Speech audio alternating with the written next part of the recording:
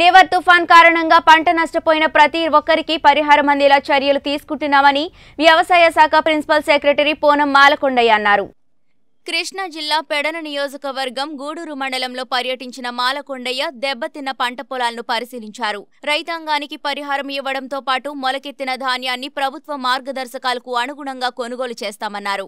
ఆమె వెంట joint collector Madhavilatha Bandar RDO Khajavali తదితరులు ఉన్నారు. డ్యామేజ్ని చూడడానికి ఈ రోజు ఇక్కడ పర్యటన చేయడం జరుగుతుంది. ఫార్మర్స్ పొలానికి కూడా వెళ్ళాము అక్కడ కూడా. చూసాము. నిజంగా ఇది చాలా బాధాకరమైంది. చాలా డ్యామేజ్ ఇంత డ్యామేజ్ ఎప్పుడు రైతులు చూడలేదని చెప్తున్నారు. మా తరపు నుంచి ఈ ఎన్యుమరేషన్స్ అన్నీ కూడా పదో తేదీ దాకా కంప్లీట్ చేస్తే ఈ మంత్ ఎండింగ్కి ఇన్పుట్ సబ్సిడీ రిలీజ్ చేయడం జరుగుతుంది. అలానే ఇప్పుడు క్రాప్ కట్టింగ్ ఎక్స్పెరిమెంట్స్ ఎక్కడెక్కడైతే జరిగినాయో ఎఫెక్టెడ్ ఏరియాస్లో అక్కడ మళ్ళీ crop crop cutting experiments reconduct చేయడం జరుగుతుందండి మళ్ళీ. మూడవది ఏంటంటే ఈ ఏమైతే మొలకెత్తిన ధాన్యం ఉంది పాడైన ధాన్యం ఉంది దానికి ఎఫెక్టివ్ రిలాక్సేషన్స్ ఆల్రెడీ ఆర్డర్స్ వచ్చినాయి. ఆర్బీకేస్లో ప్రదర్శన కూడా చేశారు. దాన్ని బట్టి మొత్తం కూడా కొనుగోలు చేయడం జరుగుతుంది. రైతులు ఎలాంటి బాధ పడాల్సిన అవసరం లేదు.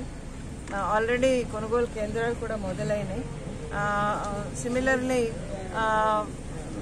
ఫీల్డ్లో ఏమైతే ఈ పంటల్లో రికార్డ్ అయిందో అక్కడ ఎక్కడైనా మిస్ అయింది ఎవరి పేరైనా మిస్ అయిందని లేకపోతే రికార్డ్ కాలేదంటే ఎడిట్ ఆప్షన్స్ కూడా ఇస్తున్నామండి. దాన్ని మళ్ళీ ఇంక్లూడ్ చేయడానికి. ఎవరైతే ఫార్మర్స్ భూమి మీద ఉండి ఎవరైతే అక్కడ కల్టివేట్ చేస్తున్నారో వాళ్ళకే ఈ ఇన్పుట్ సబ్సిడీ వచ్చేట్టుగా అన్ని విధాలుగా చర్యలు తీసుకుంటామండి.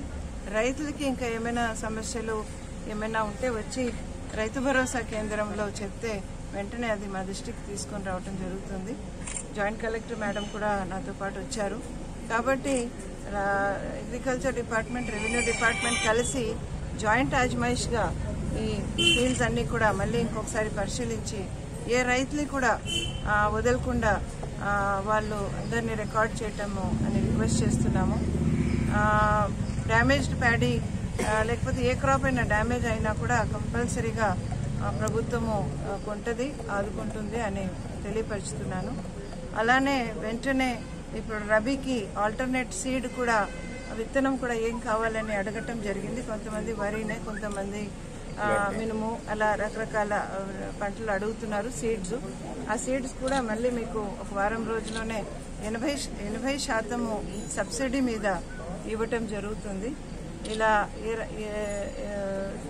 ఇలాంటి చర్యలన్నీ కూడా నెక్స్ట్ టెన్ ఫిఫ్టీన్ డేస్లో కంప్లీట్ చేస్తామండి. మీరందరూ కూడా ధైర్యంగా ఉండాలని రిక్వెస్ట్ చేస్తున్నాము.